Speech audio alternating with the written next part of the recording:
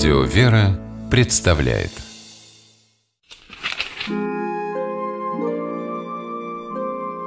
Сегодня, 11 июня, церковь вспоминает преподобную мученицу Феодосию Константинопольскую, отцов Первого Вселенского собора, святителя Луку, архиепископа Крымского. Сегодня праздник иконы Божией Матери, именуемый «Споручница грешных».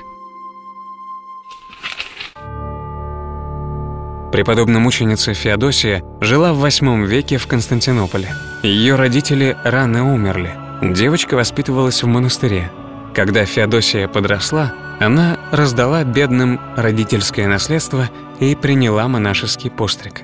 На часть средств она заказала для монастыря красивейшие иконы Спасителя, Божией Матери и мученицы Анастасии. В это время в Византии воцарился император Лев Исавр.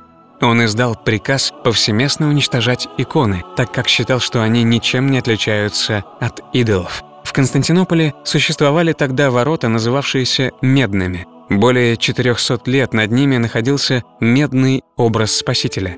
Иконоборцы решили снять образ. Православный народ во главе с Феодосией и другими инокинями бросился на защиту иконы. Они опрокинули лестницу вместе с воином, исполнявшим приказ – Император узнал о волнениях и отдал приказ перебить всех монахинь. Феодосию, как зачинщицу, бросили в тюрьму. Ее жестоко избивали в темнице, а потом повели по городу в назидание всем почитателям икон. Феодосия не выдержала мук и скончалась. Тело преподобной мученицы было тайно похоронено. Потом на этом месте по молитвам к святой Феодосии не раз происходили чудесные исцеления. Иконоборчество – одна из горьких страниц истории. Но в этих преследованиях миру было явлено немало примеров стойкости в исповедании своей веры, самоотречения и жертвенной любви к Богу. Церковь вспоминает преподобную мученицу Феодосию Константинопольскую и просит ее «Моли Бога о нас».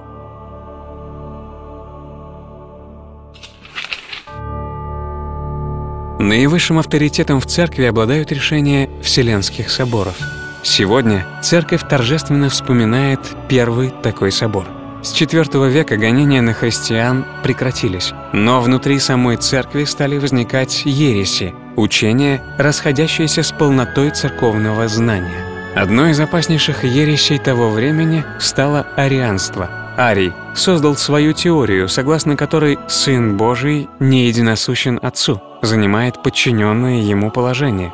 Святой равноапостольный император Константин, чтобы разобраться в вопросе, решил созвать Вселенский собор. По его приглашению, в город Никею близ Константинополя в 325 году собрались 318 епископов. Они представляли христианские церкви разных стран – Среди прибывших было много исповедников, пострадавших во время недавних гонений. Участниками собора стали также великие учители церкви, святитель Николай, архиепископ Мирликийских, святитель Спиридон, епископ Тремифунский, святитель Афанасий Великий и другие. В своей речи император сказал «Несравненно прискорбнее для меня всякой войны внутренняя междоусобная брань в Церкви Божией. Учение Ария было опровергнуто. Собор утвердил православный символ веры, в котором говорится о единосущности Бога Отца и Сына. Собор также принял решение по вопросам церковного управления и дисциплины и рассмотрел вопрос о дне празднования Святой Пасхи. Собор в Никее стал первым событием в истории, когда церковь земная объединила интеллектуальные и духовные силы, чтобы противостоять искажению евангельского учения. Таких вызовов было немало. Полный покой церкви не оставлен и не заповедан. Раз за разом, свидетельствуя о правде Христовой, церковь опирается в том числе и на опыт отцов Первого Вселенского Собора. Прославляя святых отцов, мы просим их, молите Бога о нас.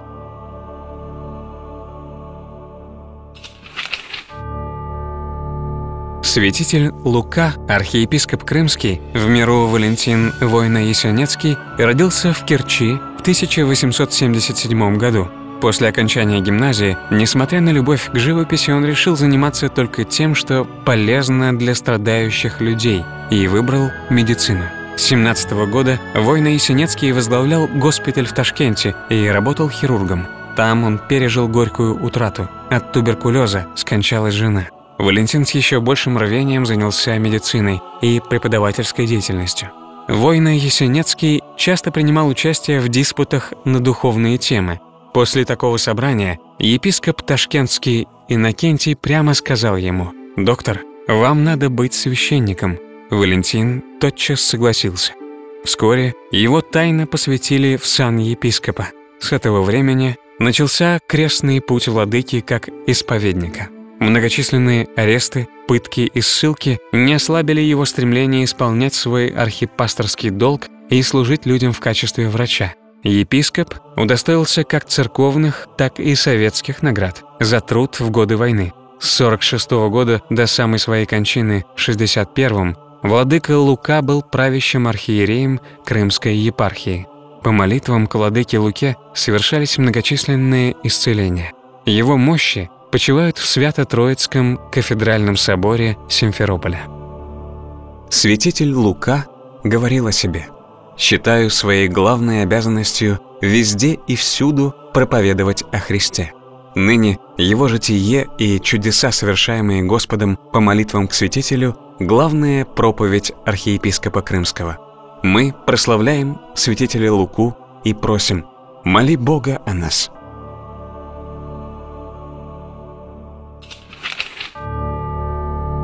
Икона Божией Матери «Спорученица грешных» получила свое имя по надписи, сохранившейся на иконе «Ас, спорученица грешных к моему сыну». Спорученица означает «поручительница». На иконе Богоматерь изображена с младенцем Христом на левой руке. Он обеими своими руками держится за правую руку Богородицы. Главы Богоматери и младенца увенчаны коронами. Этот образ обрел свою славу в середине XIX века. Он находился в Николаевском Одринне монастыре на Брянщине. Икона была уже ветхой и не пользовалась должным почитанием. Ее перенесли из храма в старую часовню у монастырских ворот. Но однажды многим жителям в сновидениях было открыто, что икона эта наделена чудотворной силой. По молитвам к Богородице перед этим образом могут исцеляться недуги душевные и телесные. Икону торжественно перенесли в церковь. К ней стали стекаться верующие со всего края. Первым выздоровел парализованный мальчик. Перед иконой долго и горячо молилась Царица Небесная и его мать. Образ особенно прославился, когда краю угрожала эпидемия холеры. В монастыре в честь иконы с поручницей грешных был построен большой храм. Как говорил преподобный Паисий Святогорец, Богородица передает все наши просьбы Христу, но и сама она по своей заботе и нежности наполняет наши души любовью ко Христу. Чествуя икону Божией Матери, именуемую «Споручница грешных», мы просим Царицу Небесную, Богородица, спаси нас –